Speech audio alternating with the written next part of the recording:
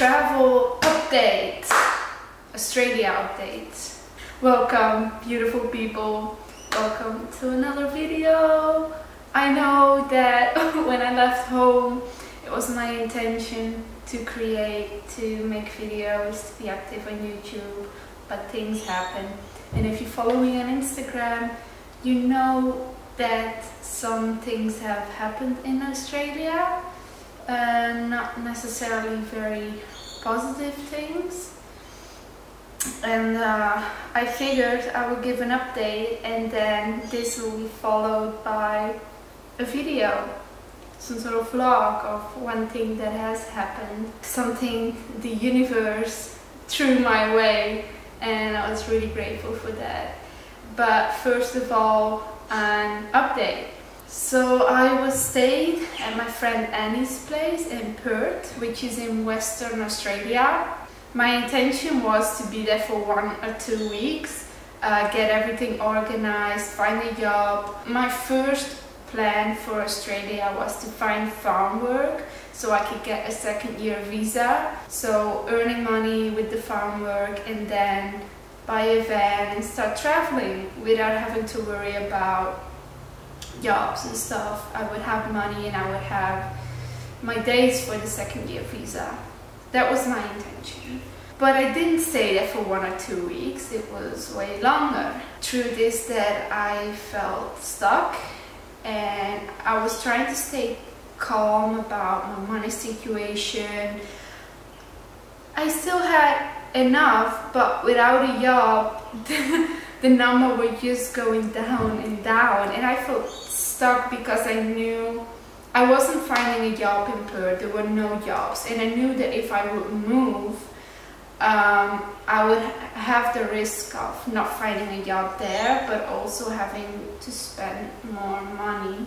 So I felt stuck there. I had a lot of stagnant energy within me. I wasn't feeling my best. And that manifested into some physical problems. I started to feel pain in my jaw. It started to sm smell, swell. it started to swell and always when there's something up with me, with my health, I wave it away. I don't quickly go to doctors. I don't jump to conclusions, but at the same time, I also stress about it, which makes it worse. And then one day, on a Friday, it was so bad. I, I, would, I, the only thing I could do was lay in bed because the pain was so bad. I had a headache and it was like I had a bag of potatoes stuffed in my cheek and I was still convinced that it wasn't that bad. Then I uploaded a picture my story on a Travelers Facebook group to ask about um, travel uh, insurance and you know if I could uh, what it would cost me if I were to go to a doctor or hospital and everyone was worried and then my friend Tali, who was in Cape Town at the time, um, we had contact on WhatsApp. She got so worried that she ordered an Uber for me to take me to the hospital on Friday night. And I am so grateful for her, for her help.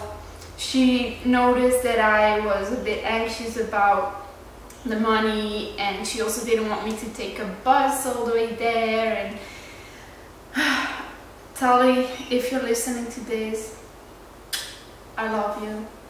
I'm forever grateful for your mom, your mom vibes, sending me off to the hospital, telling me I have to take better care of myself. I went to the hospital, they did some tests, I had to wait for a long time and then at one point a doctor came in and he told me that I had to stay the night, which was a shock for me. I didn't know it was that bad and um, I, I found it hard to, to surrender to the whole situation. I knew that in the hospital, you know, I don't, I have to surrender to what they feed me, what kind of you know, I don't like medication, I don't like drugs. I had to go on an antibiotic drip. I had to take painkillers, which I usually don't do, but I told myself, this is your time to surrender. You don't have to take care of yourself now. You can let go and let others take care of you for once. Just go with it. This, this whole experience is happening for a reason and I decided to go with it. I ended up staying in the hospital for four nights and honestly I felt like while I was there. I couldn't get out of bed. It was hard for me to walk. I had pain. The first day there wasn't any food for me since I'm vegan. But then a girl in my room who's very interested in vegan and gluten-free food, uh, she gave me a bunch of snacks and I'm, I was so happy with them, so grateful. She was the sweetest. Um, but then the days after they had kinda, they had some food for me. They were meals, not amazing, and things definitely have to change in hospitals, but hey, I had food. Um, and then after the hospital, I felt lost. I felt stranded.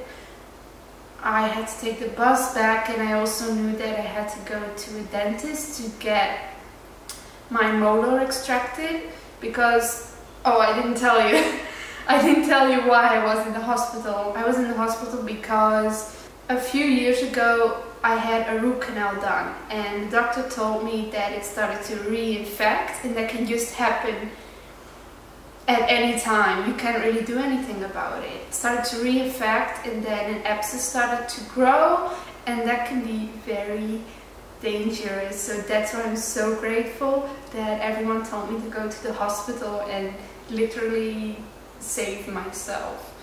Um, then after the hospital, I went back to Annie's place to rest and then this guy called Ricky contacted me on Facebook. He told me he's vegan, he's you know into yoga, um, he's from India and he would like to meet up and just talk um, because he doesn't have any vegan friends in Perth and at first I was like I don't know it's a bit strange to just meet up with someone I know through Facebook, even though I always do it with people through Instagram. um, but then I was like, why not? I haven't really seen the city, so we'll just meet up and maybe we can have like yummy vegan food in the city. So we met up and we talked a bunch and um, I was talking about Bali, of course, and then he told me that he wanted, he had a holiday uh, and he wanted to go to Bali, but not by himself. And he suggested something like maybe you could come with me and I can pay and you will be like some sort of guide for me in Bali and I will have company. You can take me to all the nice vegan cafes and things. And at first I, would, I thought he was joking or not serious, so we just talked about different things. And then he came back to that subject again, and I noticed he was damn serious. And I asked him if I could think about it. So I went back to my friend's house. But on the way there, my, I don't know, my vibration was so much higher than it was before. I just felt that I had to go. I had to go to Bali and the, the thought of going back to Bali made me so, so happy. I was literally dancing in the train station. I was listening to my music, dancing around. And then when I came back at my friend's place and I told them about it, they were like, are you sure? That's really strange. You don't know the guy, but it felt so, it felt like it was meant to be for me. So I told Ricky, let's do it. And that same night, he booked the tickets and a few days later, we went to Bali. And the most amazing thing was that my friend Ellen and her beautiful friend Lisa arrived in Bali on the exact same day. And my mind was blown because a few months before that I had a dream, but the dream felt more like a vision. And in the dream, me and Ellen and another person I couldn't see the face of were in Bali in Seeds of Life and it, it felt so real, it felt like it was going to happen. And then, bam, Ellen was in Bali, I was in Bali, and then another person who I didn't see the face of in the dream, Lisa or Ricky. So that dream turned into reality, which was great. I didn't see her for maybe like nine, ten months. So it was really amazing to reunite in Bali and spend some time together and talk and eat a bunch of yummy food. So I stayed in Bali for six days, six amazing days. And then after Bali, I flew back to Perth. But my friend told me last minute that I couldn't stay with her anymore. So I was stranded in the airport in the middle of the night. I wasn't stressed about it. I was like, okay, I'll just sleep here and then tomorrow I'll figure something out. But then another person I had contact with on Instagram um, told me he would pick me up and I could spend the night at his place. So I was saved once again. Thank you universe for carrying me. And with this, here's the Bali video.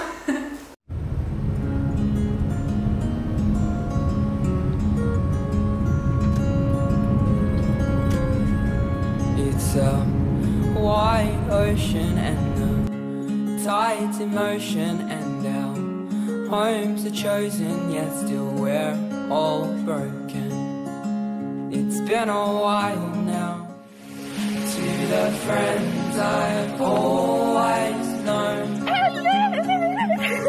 take me home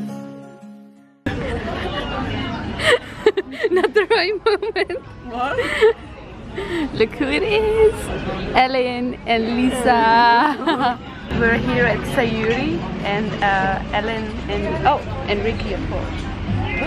Oh. Um, we're at Sayuri now. Lisa and Ellen just arrived today in Ubud and it's amazing to see them again. Oh wait, Ellen, see Ellen again. I didn't know Lisa before. Um, if you've seen my India videos, you've seen Ellen before. We went to India together and we used to know each other from the Netherlands.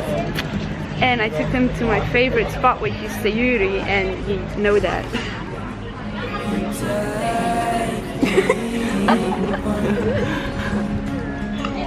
back to the place where I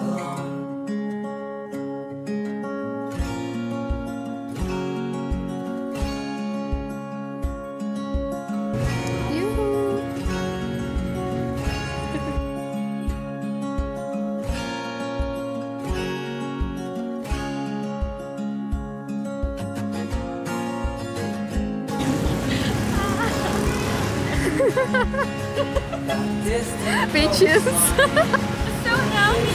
side, wash Atten. Where are we now, Ellen? We are at Zest, At Zest. and we just got our food. Or you, you didn't. we just, oh, I'm still waiting on my food, but this is the restaurant where I was for my birthday. It's very fancy, more high class, very beautiful food. It All smells for so. tasty. And we're so hungry because it's like very late. But oh, Yeah, it's quite late. I mean, wow. Life happens. Sh- Show the nasi campur. Nasi campur is like a local dish. Usually, Whoa, it smells so good. One more of. Ah, there it is. yes, the awakened I like cowboy. cowboy, please. Thank you. Yeah.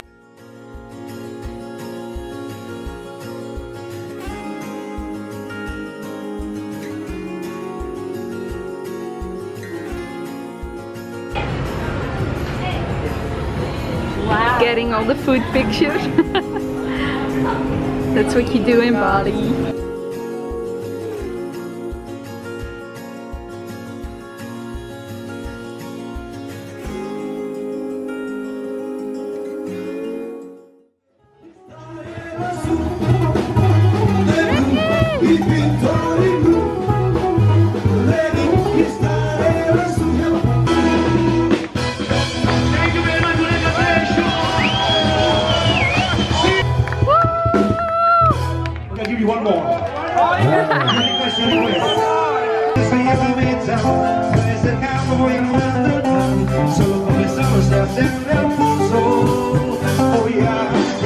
Ya me escutando más de Europa Todo me sentido me pidiendo más. Dicen que tomando llegó a poco Despacito, pero no mirando tengo despacito.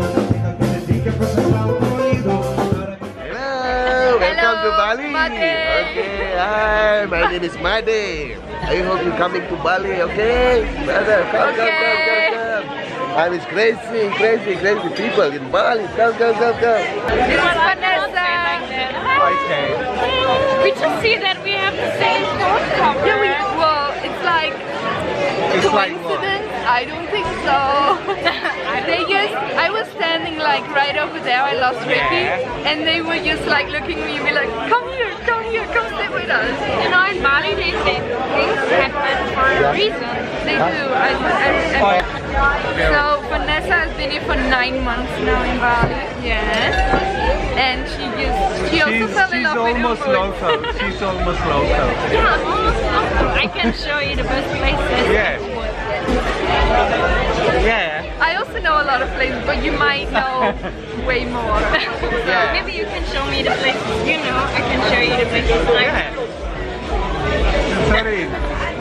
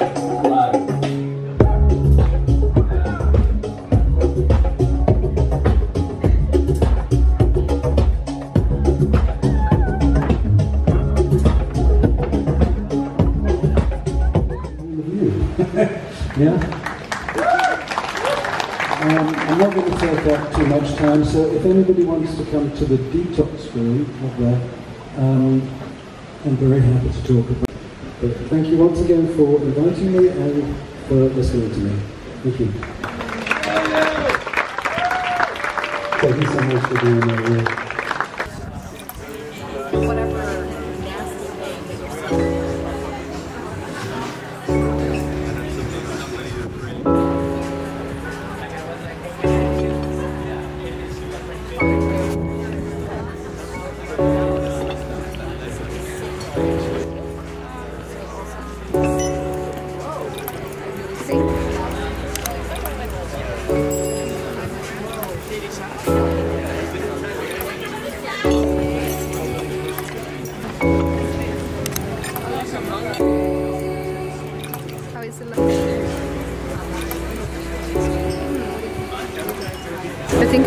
Cashew,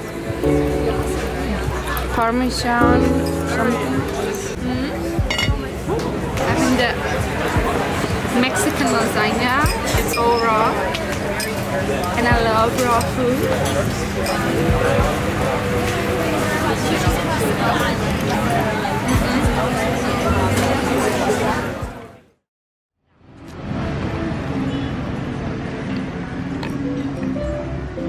Back at the Tegallalang Rice Terraces, but this time with Lisa and Elaine. And I don't mind being here for a second time because I don't think it's enough to go there once because it, the rice terrace is huge and last time we came like first thing in the morning and we were focusing a lot on shooting pictures and video which was also really nice and we also relaxed of course but it's also nice to just explore a little bit more and shoot some pictures but just like walk around and enjoy the place. And there's more people now so it's also quite a different experience. Take me home. Back to the place where I belong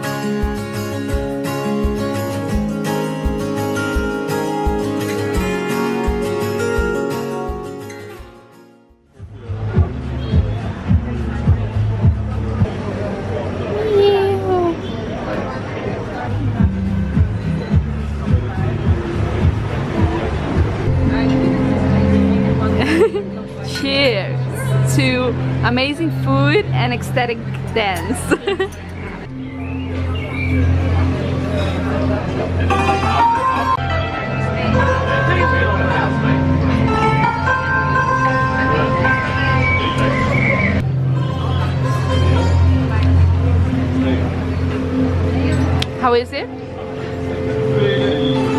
risky to order something new. Ja, Je wou iets zeggen? wij zeggen ja, net zoals jij. Mm. So I was thinking about trying something new at Zest today, but I had issues with figuring out which dish, and I just went for the exact same dish, which is the jackfruit taro steak with mushroom sauce, and it's epic. If you ever make your way to Zest, this is the dish, and I get it with sweet potato wedges instead of the cassava rice. It's. Ricky, thank you for being so bold to just ask me along on this journey.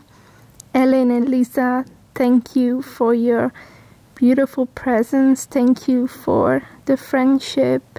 Thank you for being there and listening to me and also sharing your stories.